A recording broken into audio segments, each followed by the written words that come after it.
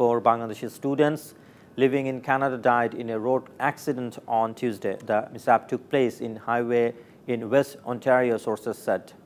A woman and a man, both 20 and a 17-year-old boy, died in a crash on the spot. The injured driver, a 21-year-old man, also died, reports the CBC citing Ontario Provincial Police. All four were living in Toronto on study permits from Bangladesh. Canadian authorities are yet to provide any further details about the victims. Authorities have already notified the families of the deceased.